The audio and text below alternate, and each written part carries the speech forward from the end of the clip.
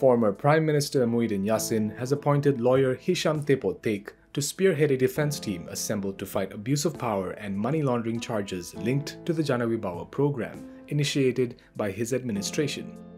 Lawyer Chetan Jethwani, whose firm Chetan Jethwani & Co. has been appointed Muhyiddin's solicitors, confirmed in a text message to FMT that Hisyam was roped in to lead Muhyiddin's defense team. Hisyam, who has been practicing criminal law for about 40 years, was said to have been appointed last month. 12 other counsel will be assisting Hisyam in the case. Hisyam is also lead counsel in Deputy Prime Minister Ahmad Zahid Hamidi's corruption cases.